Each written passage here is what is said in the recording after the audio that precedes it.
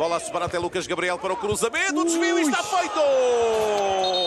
E há ali qualquer coisa que o árbitro eh, vai ver em relação ao eh, jogador do Mafra, mas Mas é é uma grande cabeçada do jogador eh, da equipa do Mafra a fazer o golo do empate em cima da hora de jogo. Vamos aqui eh, rever e eh, também ali a troca de mimos entre Diao e Ricardo Silva.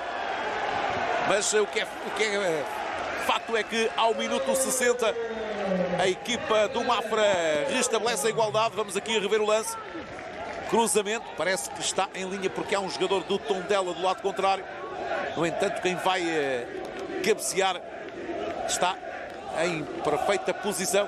Sim, Pité acaba por fazer, fazer gol, eh, está em posição regular, eh, é um bom gol na sequência de, de canto indireto, depois há aqui eh, este, este envolvimento entre o, entre o Dial e o, e o Ricardo.